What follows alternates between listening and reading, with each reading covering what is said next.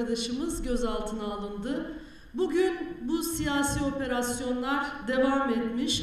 Ankara, Van, Ağrı, Muş gibi illerden pek çok üye ve çalışanımız gözaltına alınmıştır. Bu gözaltılar referandum çalışmalarımıza karşı AKP'nin yürüttüğü açık bir seçim kampanyasıdır aslında. Bu oyuna asla izin vermeyeceğimizi ifade ediyor. Göz altındaki tüm dostlarımızla dayanışma içinde olduğumuzu ifade etmek istiyorum.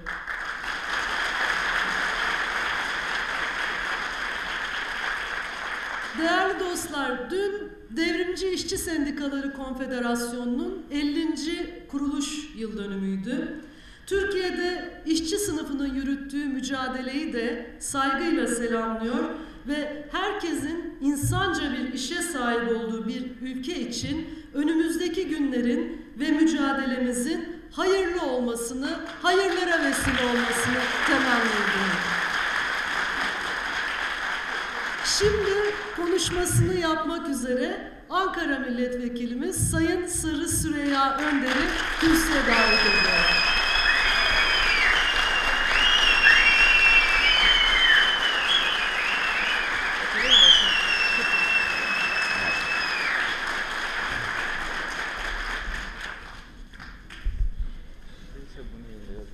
Yok.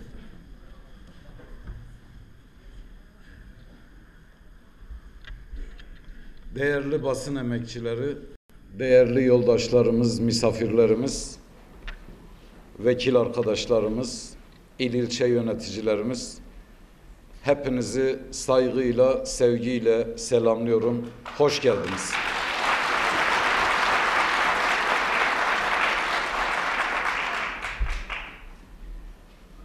Bugün sevgililer günü. Öyle diyorlar. Kesik bir kol gibi hep eksikliklerini omuz başımızda hissettiğimiz cezaevindeki bütün yoldaşlarımıza bir şiir armağan etmek istiyorum sevgililer günü dolayısıyla. Dünyadan, memleketinden, insanlarından umudun kesik değil diye ipe çekilmeyip de alınırsan içeriye, yatarsan 10 yıl, 15 yıl daha da yatacağından başka ah bir bayrak gibi sallansaydım ipin ucunda keşke demeyeceksin. Yaşamakta ayak direyeceksin. Bahtiyarlık değildir belki boynunun borcudur fakat düşmana inat bir gün fazla yaşamak. İçeride bir tarafınla yapayalnız kalabilirsin kuyunun dibindeki taş gibi. Fakat öbür yanın öylesine karışmalı ki dünyanın kalabalığına dışarıda ta 40 günlük yerde bir yaprak kımıldasa sen ürpermelisin içeride biraz kısaltarak söyleyeyim, şairinden özür dileyerek. Velhasıl içeride 10 yıl, 15 yıl geçirilmez değil, geçirilir. Yeter ki kararmasın sol memenin altındaki cevahir demiş şair. Bu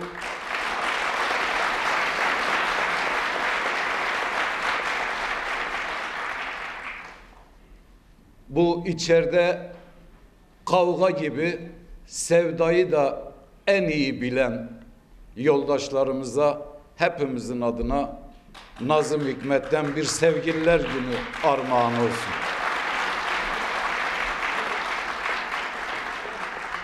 Sevdayı bilmeyen kavgayı bilemez, kavgayı bilmeyen sevdayı bilemez. Bunlardan ikisi tek başına herhangi birisi tek başına olmaz. Olursa bunlarınki gibi olur. Yavan, tatsız, tuzsuz, kuyu suyu gibi bir şey. Biz yoldaşlarımıza bu vesileyle onları hiç unutmadığımızı, eksikliklerini gerçekten omuz başımızdan kesilmiş bir kol gibi hissettiğimizi ama er geç mücadele alanlarımıza, halaylarımıza, onları da katacağımızın sözünü vererek grup toplantımıza başlamak istiyorum.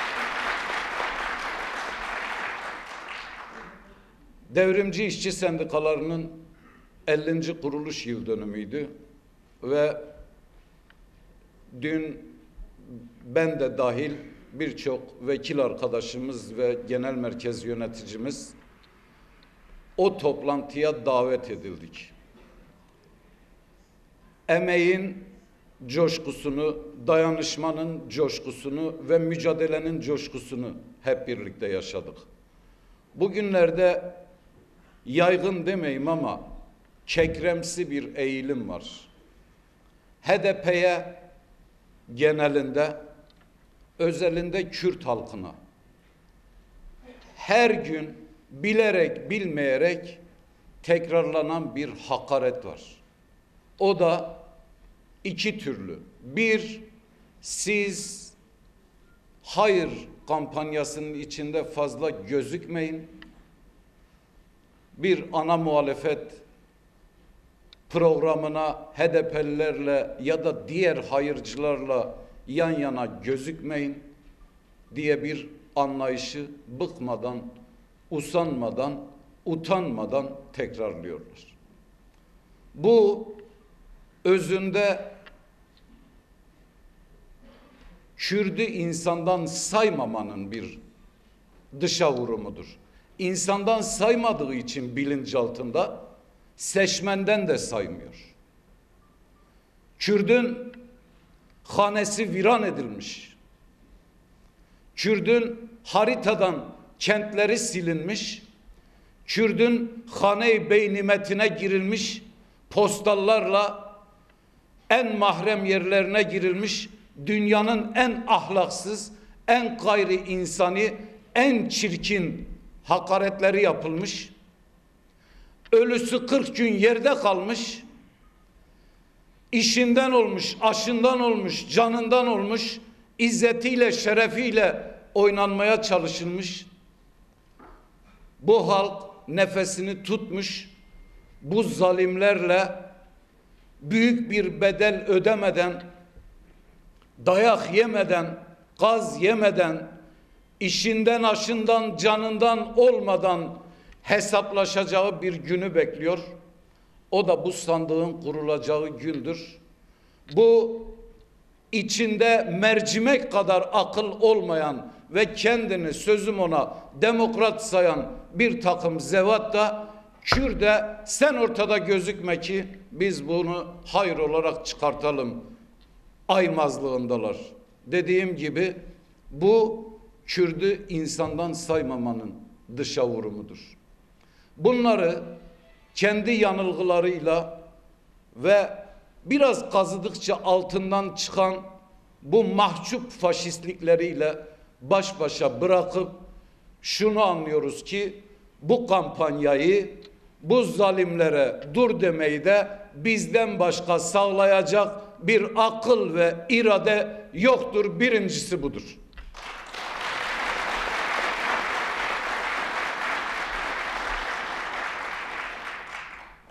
Malcolm X vardır tarihte. Onun filmi de çekildi. Orada bir takım zenciler vardı. Zencilerin beyazlar tarafından yok sayılmasına, hayatın her alanında ayrımcılığa uğramasına isyanı ve direnişi örgütlemişlerdi. Fakat bir kısım zenci diyordu ki ya ne lüzum var işte bu beyazların telinden gidelim. Malcolm X ve onun takipçilerine de hep bunlar örnek gösteriliyordu. Onun bu zenciler için kullandığı bir deyim vardı. Onlar diyordu ev zencisi. Şimdi ikinci anlayışta bir ev kürdü tipi var. Bunlar nemize lazım bu karmaşanın içerisine giriyoruz? Biz boykot edelim düşüncesinde. Bu düşüncede olmayanı da sistem alttan alta sinsice örgütlemeye çalışıyor ve psikolojik harp aygıtlarıyla sanki Kürtlerin içerisinde ya da HDP'nin içerisinde boykot tartışılıyormuş gibi bir izlenim uyandırmaya çalışıyorlar. Bunu iktidar sözcülerinin demeçlerinden ve değerlendirmelerinden de anlıyoruz. Diyorlar ki biz bu eveti belki çıkarabiliriz ama önümüzde Kürtler var engel olarak, önümüzde kadınlar var ve biz bunlara ulaşabilecek bu daha önce ayağımızın altına aldık dedikleri milliyetçilikleri, milliyetçiliği şimdi başlarına tac ettiler ya. Hem bu milliyetçiliği başımıza tac edip hem bu Kürdün oyunu almak nasıl olacak? Nasıl bir Ali Cengiz'le mümkün? Akıllarına gele gele efendim Kürde hiç demokrasi demokrasi demeyelim. Onlara ekonomik şeylerle yaklaşalım sonucuna varmışlar. Hepinizden özür dileyerek söylüyorum. Bizi izleyenlerden de ancak davarın önüne ekmek atarsan sesini keser. Kürdü insandan saymamanın ve kafaları karıştırmanın bir diğer boyutu da bu. Ama yedi cihan duysun, bu hayrı biz örgütleyeceğiz. Bu mercimek kadar aklı olmayan siyasi analizlerle, bu kibir deryasında boşa kulaç atanlarla bizim hiçbir işimiz olmaz. Ama alanlarda halk bu birleşmeyi ve mücadele edenleri gözünden tanıyor. Bu mesele bir hakikilik ya da hakiki olmama meselesidir. Disk buna düşmemiştir. Hakiki bir emek örgütlenmesidir. Sadece emek de değil, bu ülkenin barış ve demokrasi mücadelesinde de önemli bir yeri vardır. Göğsünü gere gere bütün temsilcilerimizi çağırdı. Dayanışma nasıl olur? Yan yana durmak nasıl olur? Zulme karşı nasıl durulur? Bunu gösterdi. İşçi sınıfına buradan bin selam, emeğin bayramı yıl dönümü kutlu olsun.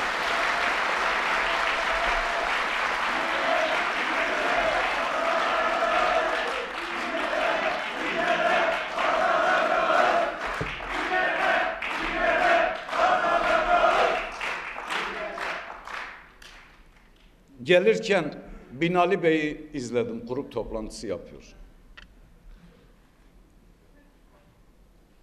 Allah bir adama zeval vermeden önce aklını alırmış. Akıl başta yok. Aksaray'a gitmiş. Aksaray yüzde yüz diyormuş. Binali Bey de lütfetmiş 2-3 puan da hayırcılar alsın diyor. Henüz toplantısı devam ediyor sıcağı sıcağına ona bir halk deyişiyle bir beyitle cevap vermek istiyorum. Binali Bey yüzde ısrar etme 90 da olur. İnsan dediğinde 90 da olur. Sakın büyüklenme elde neler var bir ben varım deme yoksan da olur.''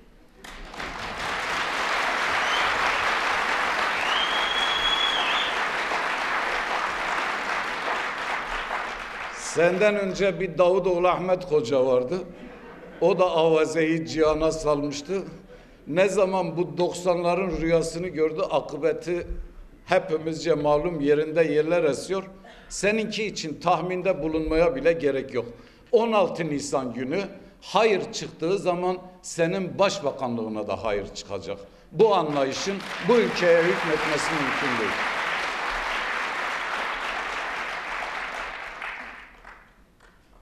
Eğer birazcık demokratik kaygımız varsa bunun meşruiyetini vicdanınıza sorarsınız. Herkesi ahmak mı zannediyorsunuz? Bu ülkede siz bu kampanyayı demokrasi, sandık ve seçmen iradesi olarak izah ediyorsunuz. Çok değil. Üç yıl önce yerel seçimler yapıldı bu memlekette. Sandıkta yüze yakın yerel yönetimi bu halk bize teslim etti. Siz bu yerel seçimin sonuçlarını halkın iradesini kanun gücünde olan kanunsuz bir kararnameyle iptal ettiniz. Sizin demokrasi anlayışınızın neresine güveneceğiz? Bunu bütün eş başkanlarımızı, belediye eş başkanlarımızı, encümen üyelerimizi cezaevine doldurarak yerine de bir seçilmişi değil çünkü oralarda kendilerine yakın vazgeçtim kendileri olarak kendilerine yakın bir seçilmiş olmadığı için atanmış yöneticileri kayyum olarak atıyorlar. Sizin demokrasi demokrasi diye tutturduğunuzda ve Kürdün oyunu önüne ekmek koruz alırız di- diye kendi kendinize çalıp oynadığınızda Kürt diyor ki ulan bunlar benim oyumla seçtiğim yöneticilerimi götürüp başıma kaymakam ya da vali mavinini getirdiler. Onun da ilk yaptığı iş belediyeyi halka kapatmak oldu. Bizim hiçbir belediyemizde eş başkanlarımızın kapısında muhafız yoktu.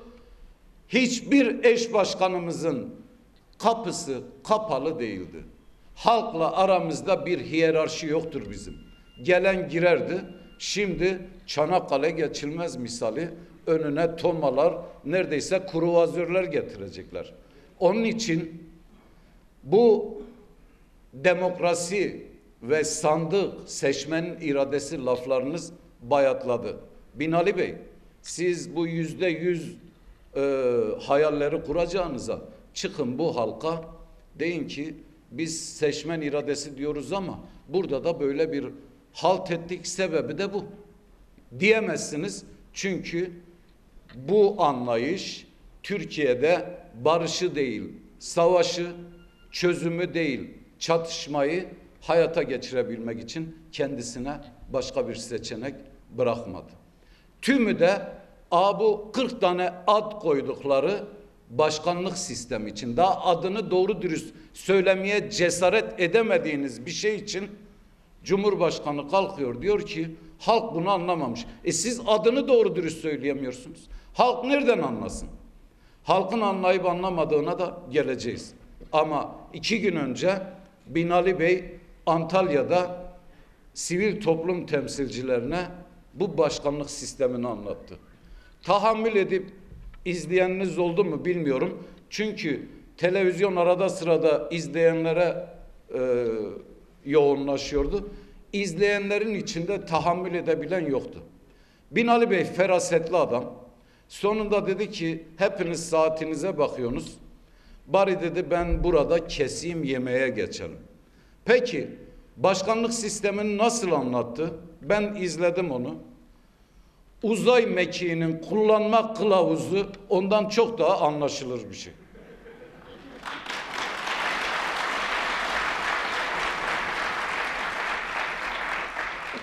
Bir şey tutturmuşlar. HDP hayır diyor. O halde biz evet demeliyiz. E işit de Allah'a inanıyor. Siz inanmaktan vaz mı geçeceksiniz? Bu nasıl bir mantık? Hayır'a hayır kampanyası düzenlendiği ilk defa bu ülkede görülecek. Akıbetini de 17 Nisan günü hep beraber yaşayacağız, göreceğiz. Şimdi meşruiyet meselesi dedik. Sevgili arkadaşlar, anayasada halkın iradesi iki şekilde korunur. Birisi yasama dokunulmazlığıdır. Öbürüne de kürsü sorumsuzluğu ya da dokunulmazlığı denir. Bu birini yasama dokunulmazlığını kaldırdılar. Bu zaten bizim ilkesel yaklaşımımızdır.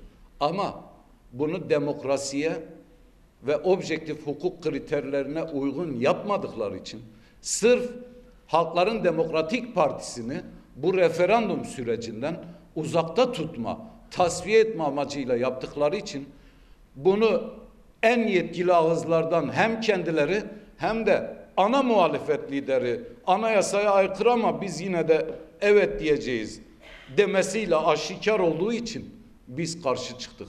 Bizim mahkemeler ikinci adresimiz aynı şekilde zindanlar da öyle. Bundan korkacak, çekinecek bununla siyasetten ya da hak mücadelesinden, özgürlük mücadelesinden vazgeçecek bir tane arkadaşımız yok bizim. Bunun için karşı çıktık. Fakat öbürü kürsü dokunulmazlığı dediğimiz şey yasayla indirilip kaldırılabilen bir şey değildir. O neredeyse seçilmişin doğal hakkıdır ve anayasada da teminat altına alınmıştır. Bu ne demektir? Bu kürsüde sizlere yaptığım bu konuşmayı dünyanın herhangi bir kara parçasında da yapabilirim, yapmalıyım. Burada söylediklerimden dolayı hiçbir şekilde sorumlu tutulamam demektir. Peki Sayın Figen Yüksekdağ'ın, Sayın Selahattin Demirtaş'ın, tutuklu bütün milletvekillerimizin yargılandığı davanın içinde bir tane şiddetle bağ kuran ya da şiddeti özendiren herhangi bir şey ortaya çıktı mı? Sürekli terör terör diyorlardı. Çıkmadı. Nedir peki bu dosyaların mahiyeti? Bütün zorlamalara rağmen konuşmak, konuşmak, konuşmak. Bunları da meclis kürsüsünde ve hayatın her alanında yapmak. Şimdi buna rağmen seçilmiş arkadaşlarımız ve eş başkanlarımız zindanda tutuluyorlar. Bu şöyle bir boks maçına ya da güreş maçına benziyor. Rakibinin elini, kolunu, gözünü bağlayıp dövüyorlar. Sonra da halka dönüp caka satıyorlar. Bakın nasıl dövdük diye. O kadar yiğitseniz, o kadar cesursanız, şu kadar özgüveniniz varsa siyaset yapmaktan, demokratik siyaset yapmaktan başka hiçbir şeyle itham edilemeyecek yoldaşlarımızı bırakın. Ak mı, kara mı meydanlarda görelim.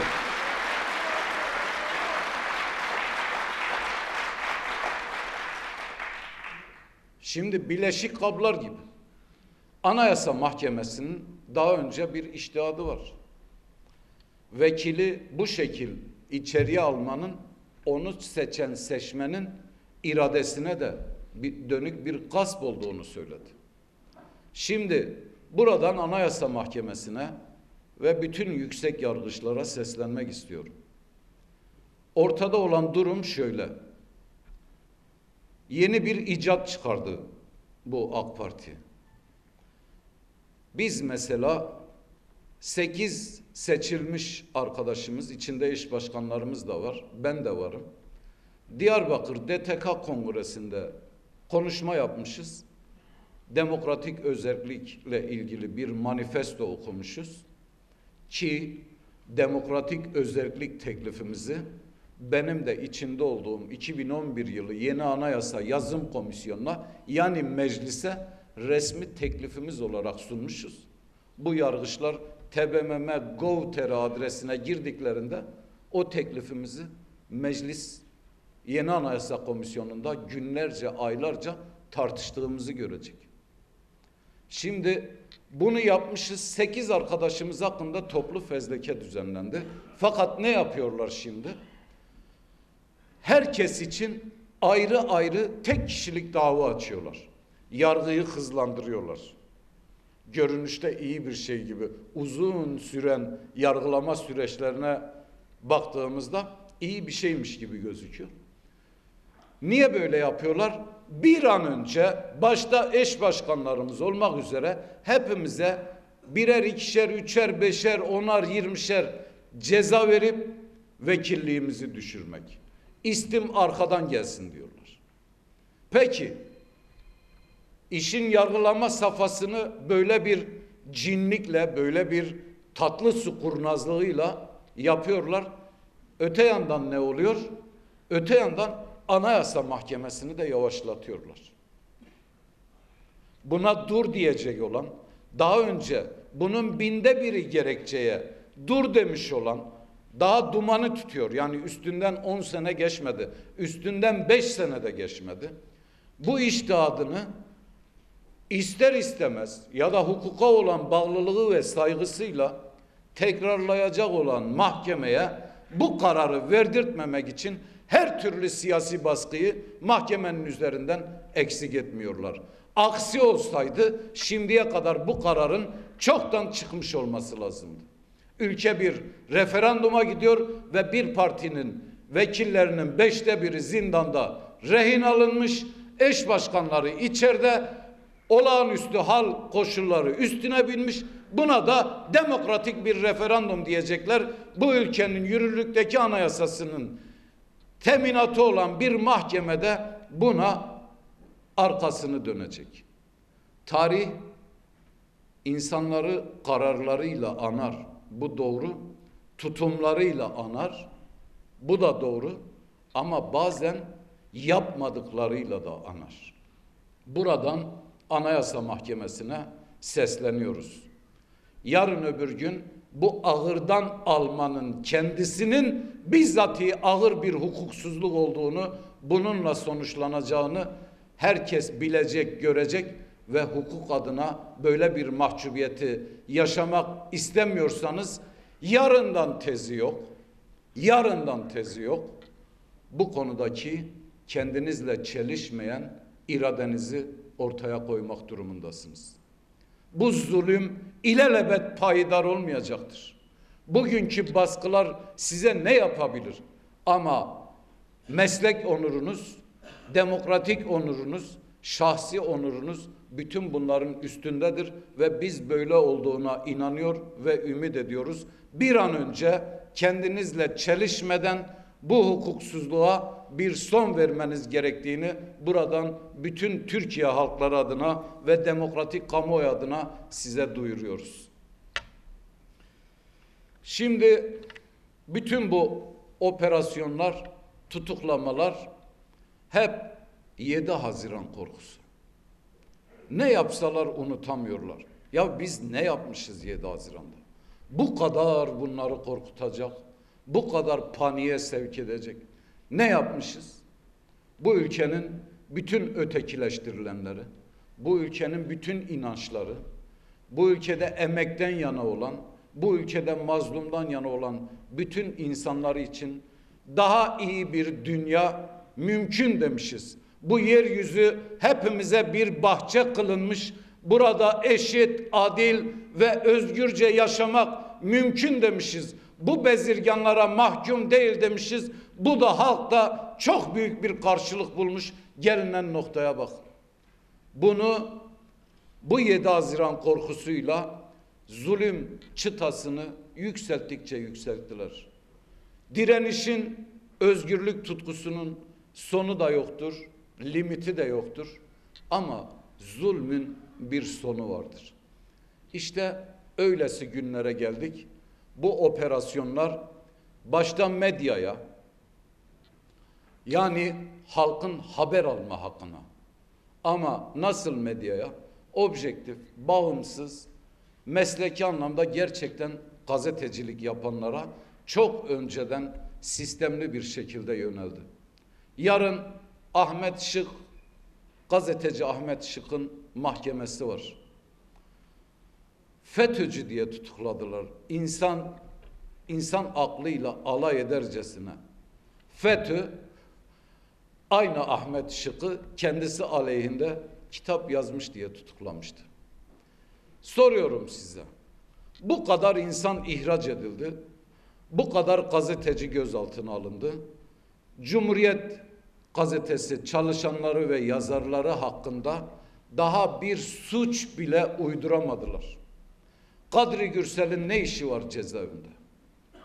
Ahmet Şık'ın ne işi var cezaevinde? Özgür Gündem çalışanlarının ne işi var cezaevinde? Ne yapmışlar bunlar? Yine istim arkadan gelsin. Tutuklamayı bir saniye bile geciktirmeyenler yüz günü geçmiş iddianamesini henüz yazabilmiş değiller. Buradan pay biçebilirsiniz olana bitene. Onun için bu 7 Haziran korkusuyla yapılan bütün bu zulümlere dur demenin bir yolu 7 Haziran'dan daha etkili bir cevap vermekte yatıyor. Çünkü bu zulüm kotasının artık denenmedik hiçbir yanı kalmadı. Televizyonları izliyordursunuz eğer mideniz bulanmıyorsa. Gazeteciliğini unutmuş zevat, akademisyenliğini unutmuş bir takım başka zevatı karşısına alıyor. Ben sana hayran, sen bana hayran, get cama yaslan misali bir top çevirip duruyorlar. Arada o çemberi yırtan bilim insanları, fikir insanları ve siyasetçiler oluyor. HDP mümkünse adı yalnız hakaretle anılıyor. Eğer HDP bir alternatif ya da bir haksızlığa uğramışlığın öznesi olarak zikredildiğinde o moderatörü ya da sunucuyu seyredin eli ayağı birbirine dolaşıyor. Başına gelecekleri biliyor çünkü. Basın emekçilerine buradan herhangi bir şey söylemek istemeyiz. Başına geleceği buluyor. İki soru soruluyor katılımcılara. Katılımcılar ve bütün ülke şunu biliyor ama orada söylenemiyor işte arada kaydıran olursa oluyor. Efendiler bu sorduğunuz iki bu sorduğunuz sorunun iki cevabı var ama bu cevabın birinin karşılığı en az 16 yıl hapis en hafif deyimle işinden aşından olma ya da linç sürülerinin önüne atılma diye kimse söyleyemiyor. Bakın mecliste bir hakkın kötüye kullanılmasına şahit olduk değil mi? Bir e, muhalefete mensup bir başkanlık divanı üyesi çok mübalağalı bir e, harcama yapmış. İki tane başkanlık divanı üyesiyiz. Ee, ben ve Sayın Pervin Buldan başkanlık divanında grup başkan vekillerimiz de bu haktan faydalanıyor. Listeye telaşla bakıyorlar. En az kullanan dört kişi bizleriz. En alt dört sırada biz varız. Arada bir tane AK Partili var. Şimdi bu hakkın bize tanındığını bilmiyor muyuz? Aynı şey belediyelerimize yöneltilen suçlamalar için de geçerli. Bu kadar polisinizi, mitinizi, bütün istihbarat örgütlerinizi, savcılarınızı, maliyecilerinizi, müfettişlerinizi bu belediyelere diktiniz. Sabah akşam günde beş vakit yalanlar, iftiralarla bunları suçladınız. Bir kör kuruşluk hiçbirinde kamu hakkına, yetim hakkına tenezzül eden bir tane belediyemiz çıkmadı.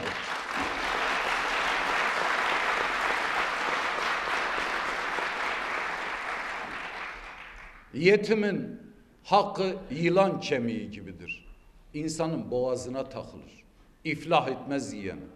Biz bu anlayışla, bu bilinçle siyaset yapan insanlarız. Tarihimizde de yok. Şimdi bunu yapan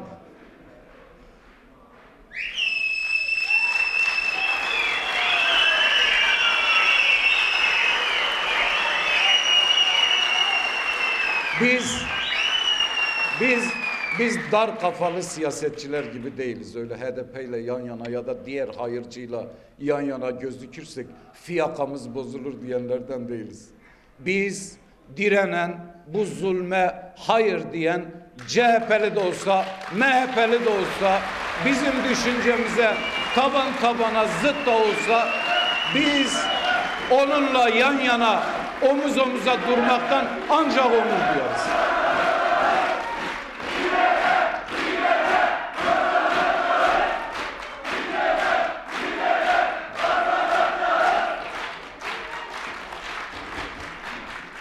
Bu akıl sokma bir akıl. Bunların kafasına iktidar sokuyor. Çok suçlayınca bunlar savunmaya geçiyorlar.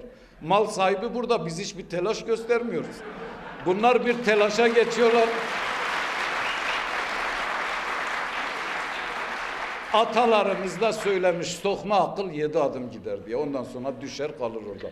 Ama işte bu marşları söyleyenler, bu itirazlarını dile getirenler, bu durumu kabullenmeyenler her kim olursa olsun bizim başımızın üzerinde yeri vardır. Yan yana durmak da bize onur verir.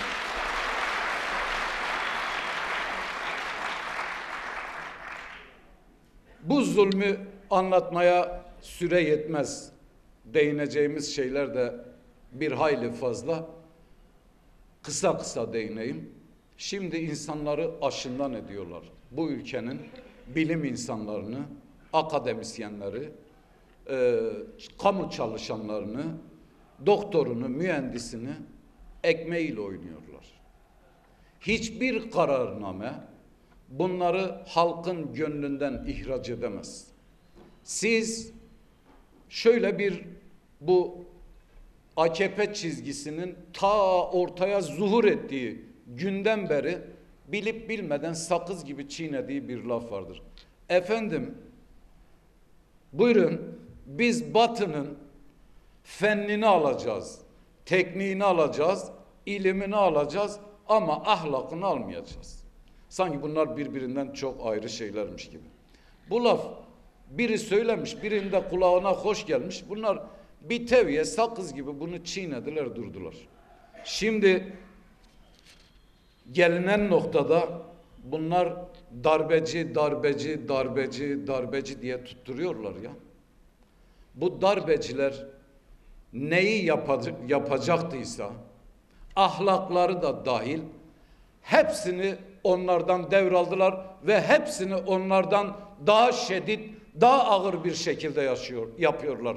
Darbe de olsa ilk bilim insanlarına, akademiye yönelirdi. Onları ekmeğinden ederdi. 1930'lardan beri olan bütün darbelerin ve ara rejimlerin, kesintilerin ilk hedefi bilim insanları olmuştur. İkinci hedefi kamu çalışanları. Bunlarla aynı derecede kadınlar ve gençlik olmuştur. Bunlar da aynısını yapıyorlar. Yani neymiş? Darbecilerin ahlakını da, tekniğini de, bilimini de olduğu gibi almakta bir mahsur görmüyorlarmış. Cevat Geray hocamız, ben de mülkiyeden atılma birisiyim, dekanımızdı. 12 Eylül'de 1402'liklerle tasfiye edilenlere edilenlerin arasındaydı. Geçmiş olsun diyenlere kızardı. Geçmiş olsun değil, gelecek olsun derdi. Ben de bütün bilim insanlarımıza ve aşından işinden kanunsuzca edilen bütün kamu çalışanlarına gelecek olsun diyorum. O gelecek de 17 Nisan günü gelecektir.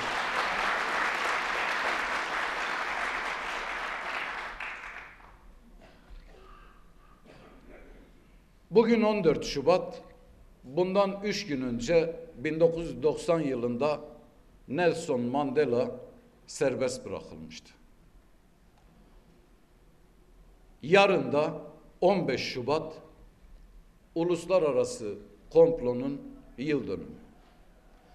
Sayın Öcalan'la heyet üyesi arkadaşlarım Sayın İdris Balıken, Sayın Pervin Buldan, Sayın Selahattin Demirtaş, Sayın Altan Tan ve diğer heyette yer alan Sayın Hatip Dicle, Ceylan arkadaşımız, bütün heyet üyesi arkadaşlarımızla çok onurlu hayatımızın en kıymetli safhasına yazdığımız üç yıllık bir demokratik çözüm çalışması yürüttük. Ben bunu da sordum kendisine. Demişti ki dönemin başbakanının sözüne takılmıştı. diyor ki ya bu Ecevit diyor ki bu adamı bize niye iade ettiler halen anlamış değil. İşte bu sözde meselenin hem uluslararası boyutu saklı hem komplo boyutu saklı.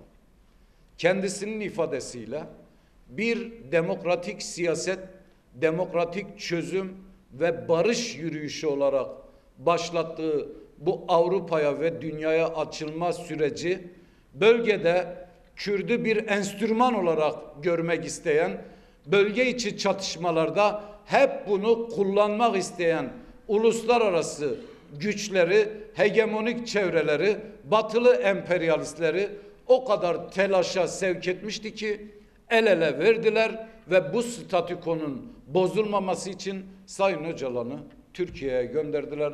Bu demokrasi yürüyüşünü, bu barış yürüyüşünü orada kestiler.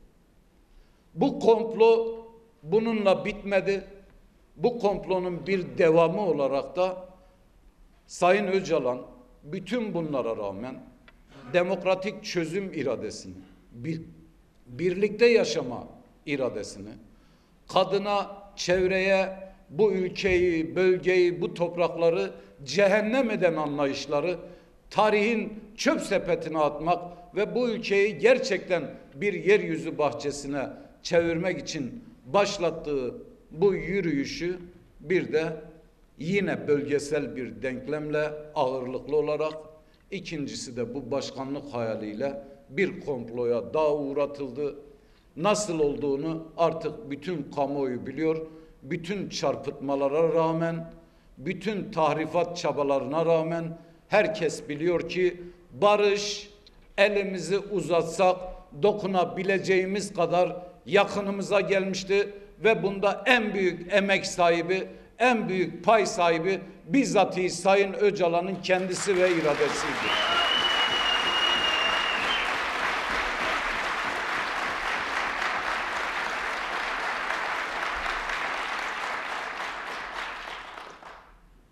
Biz bunu gördük. Bizim bunu söylememize, her şart altında söylememize, bu tanıklık ettiklerimizden sonra sizin engel olmanız mümkün değildir. Hapisse hapis, zulümse zulüm, hak gördüğünü, doğru gördüğünü söylememenin çok ağır bir vebalı vardır. Sizin hegemonik iktidar sevdalarınız uğruna biz bu vebali almaya hiç niyetli değiliz.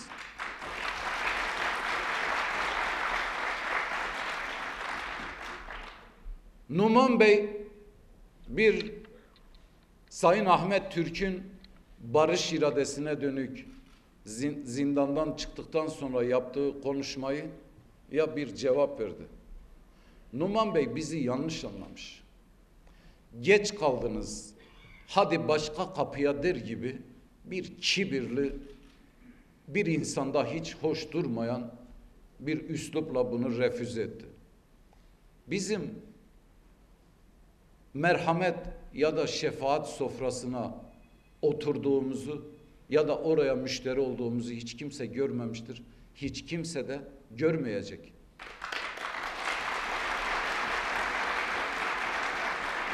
Efkar ettiğimiz uğruna her türlü kaygımızı bir kenara bırakacağımız bir tek şey vardır. O da barış ve özgürlük. Fakat Numan Bey bunu sanki bizim üzerimizdeki operasyonlar ya da şahsi konumlarımızla ilgili ya da salt HDP odaklı bir şeymiş gibi anlamış. Karşıdakini nasıl bilirsin kendin gibi demiş ya muhtemelen öyledir. Bu bizi derinden yaraladı. Bizim barış talebimiz, barış ısrarımız bir aczin ifadesi değildir efendiler. Herkes bunu aklına böyle soksun.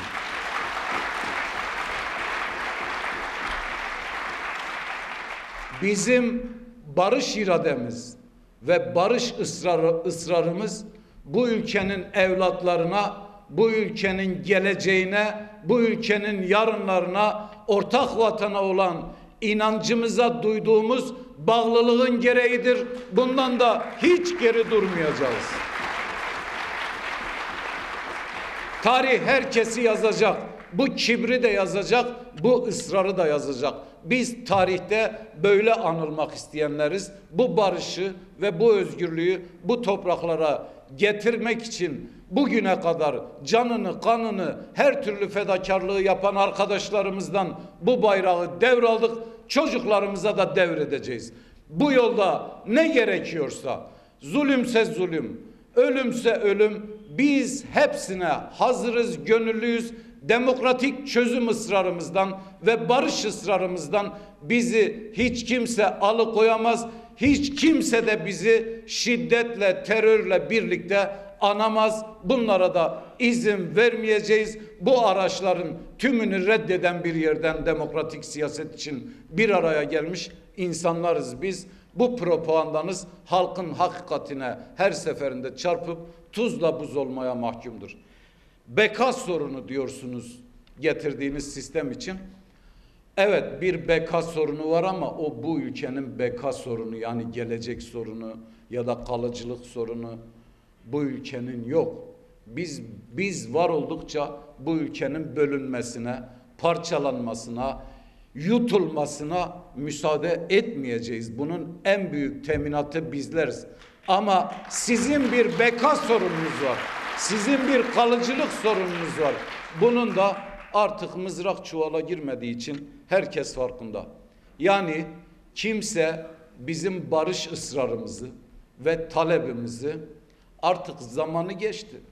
Ya da işte bak e, şöyle sıkıntılara gelince bakın nasıl böyle oluyorlar diye yormasın. Bu siyasal çizgi başladığı günden bugüne kadar ağır bedeller ödedi ama bu barış ısrarını barış için her türlü fedakarlığı yapma eğiliminden ve kararlılığından bir gün olsun vazgeçmedi.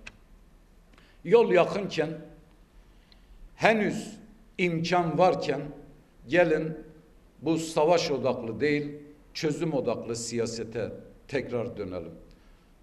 HDP ve tüm bileşenleriyle bu siyasete katkı sunmaya hazır. Dün bunun pratiğini yaptı.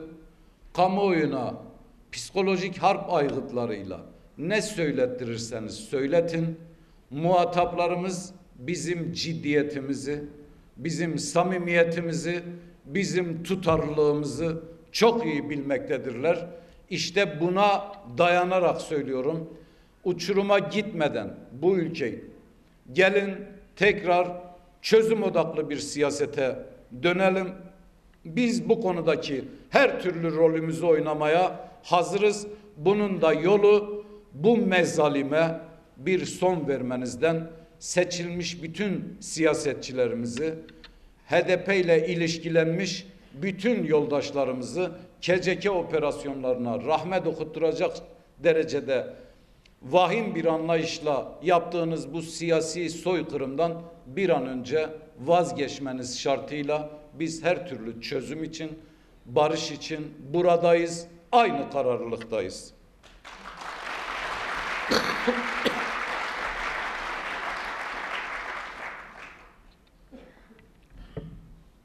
Numan Kurtulmuş mahcup olacak. Niye mahcup olacak biliyor musunuz? Bugün hükümete yakın dış işlerinden bilgi almadan yazı yazmayan bir gazetecinin makalesini okudum. Yazı yazmaya başladığı günden beri takip ettiğim bir yazın emekçisi. Ama daha çok dışları kaynaklarından yazıyor. Şöyle bir paragraf var orada. Aslında çözüm PYD ile olabilir. Numan Kurtulmuş mahcup olacak derken onun haberi olmaz bu işlerden. Biz daha önce çok hükümet sözcüsü gördük.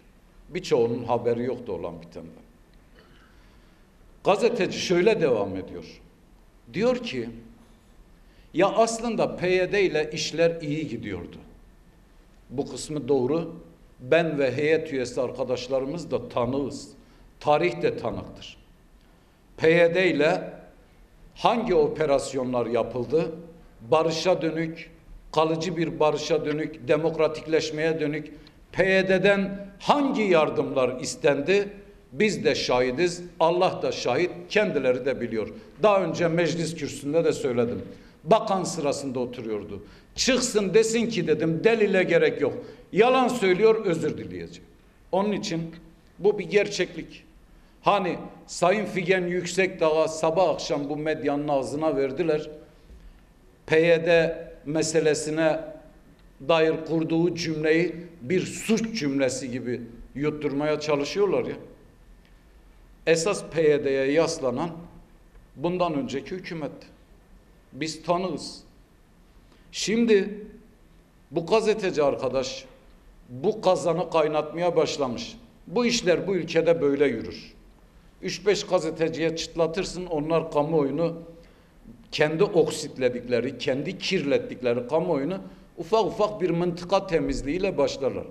Efendim PYD ile işler yürürmüş de YPG'nin çok vesayeti altına girmiş.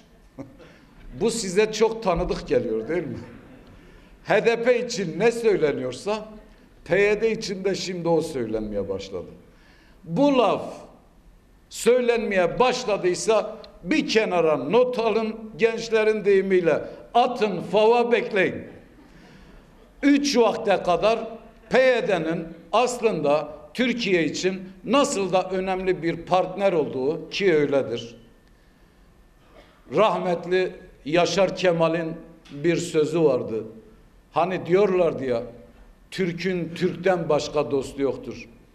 Usta yazar dedi ki Türk'ün Türk'ten başka dostu vardır. O da Kürtlerdir dedi. Siz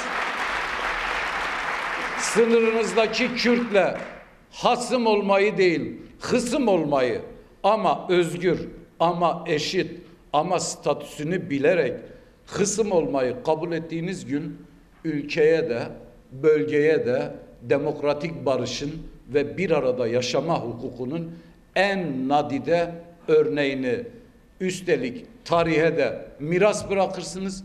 Bundan şereflenip şereflenmemek sizin tercihinizdir. Hayat hükmünü er geç böyle icra edecektir. Siz bunun içerisindeki kendi konumunuzu tayin edeceksiniz. Yapın sarayınızda oturun, yıkın viranenizde oturun.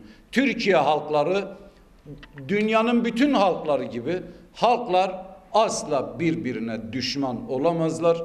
Bu düşmanlaştırma söylemlerinde bir ömrü vardır. Elbapta tükettiğiniz ne için olduğunu bilmediği şehit babasına gidiyorlar. Elbab'ın yerini bile bilmiyor fukara. Oğlunun nerede şehit düştüğü hakkında bir fikri yok. Ne için şehit düştüğü hakkında hiçbir fikri yok. Onun için bunun sonuna geldiniz. Bir an önce bu yanlıştan dönün. Bunu da bir acziyet ifadesi olarak sakın ha tercüme etmeye kalkmayın. Aklın, insanlığın, vicdanın emrettiği şeyi yapıyoruz. Yapmaya da devam edeceğiz.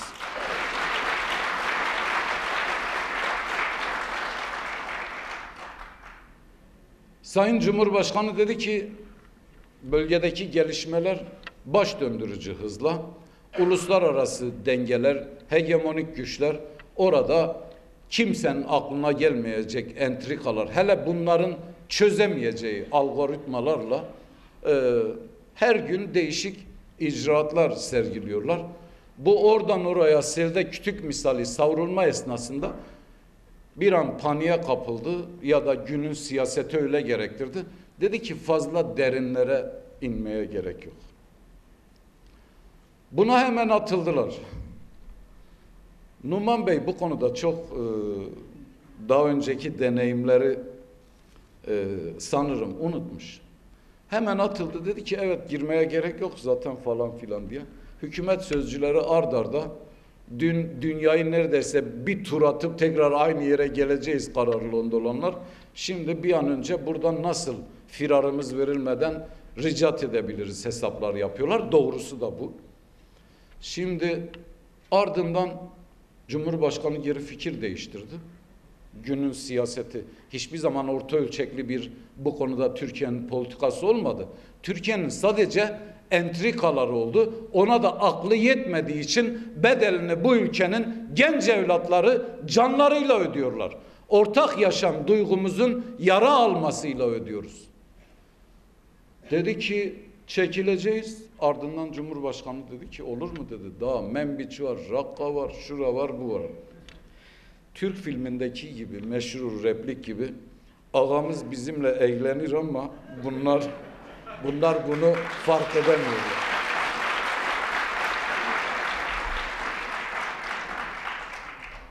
Şimdi referandum artık meşruiyeti tartışmalı da olsa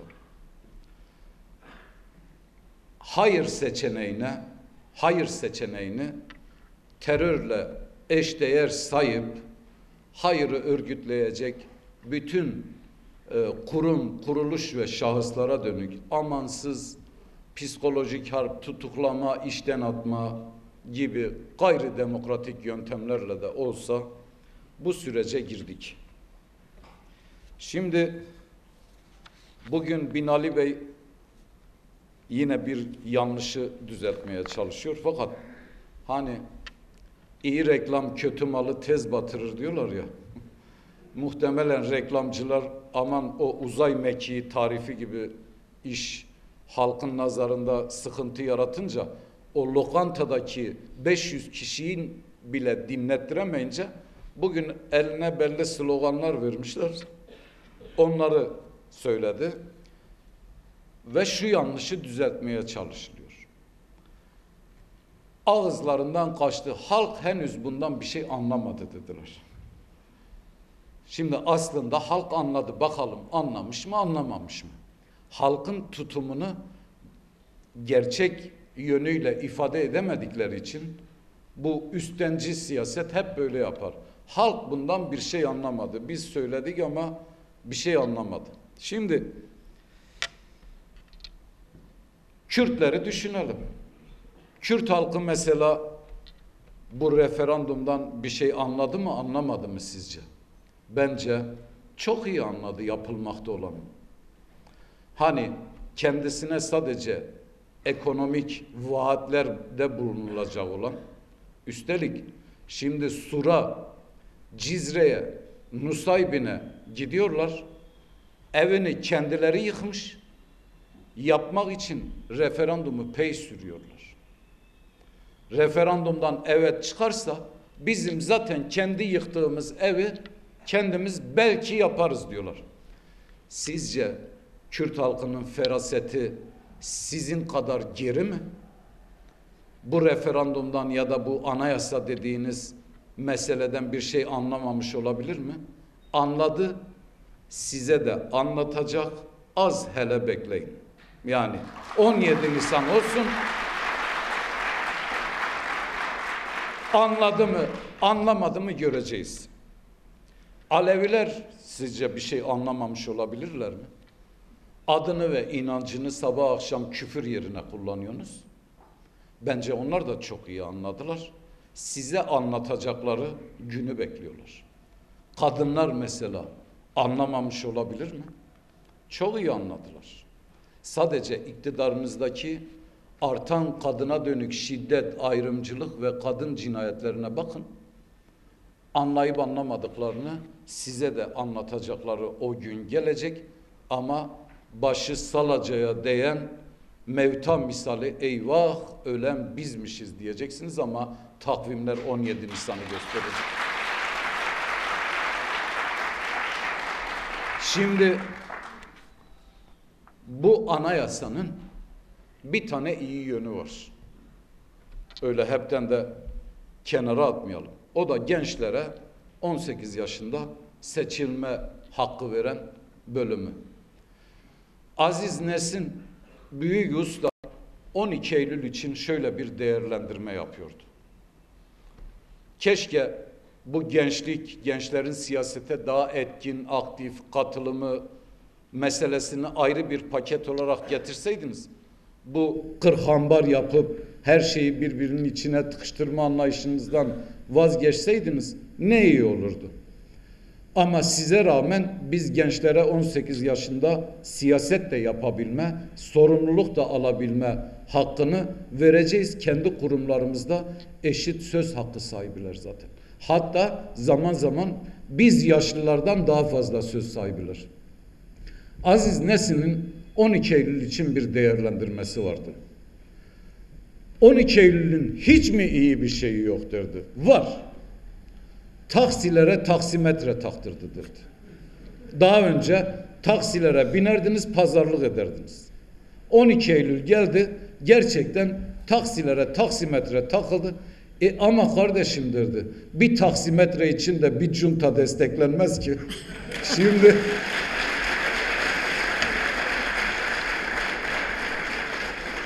gençler bizi bağışlasın.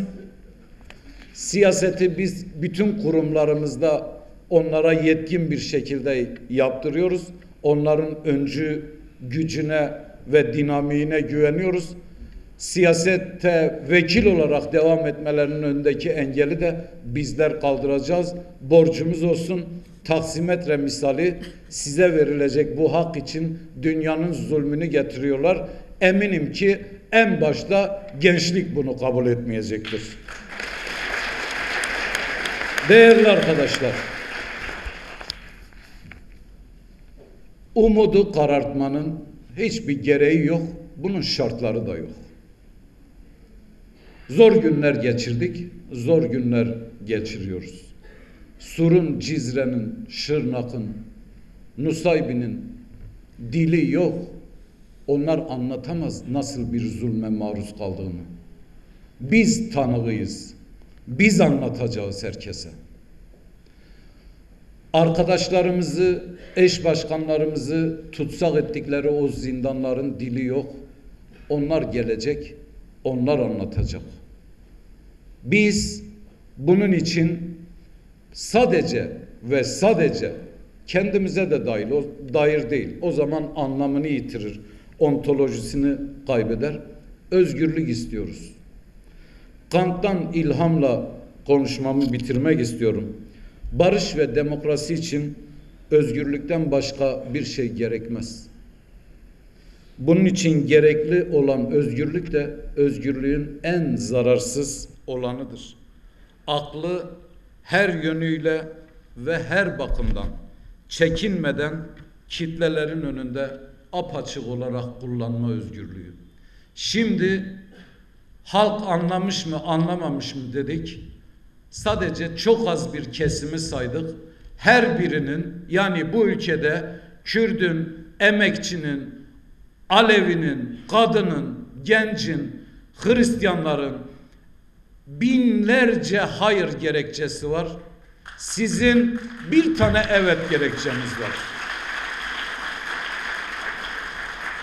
Dünya beşten büyüktür ya. Bu binlerce gerekçe de sizin o bir tane cılız kendinizin bile savunmaya cesaret edemeyip bizi kötüleyerek anlatmaya çalıştığınız gerekçeden çok daha büyüktür. Hep birlikte 17 Nisan sabahı bunun cevabını göreceğiz. Çok daha güzel, çok daha özgür, çok daha iyi bir ülkeye uyanacağız. Bu duygularla hepinize tekrar teşekkür ediyoruz. Hepimizi bu kampanyada yer almaya çağırıyoruz. On serkeftin, on serkeftin.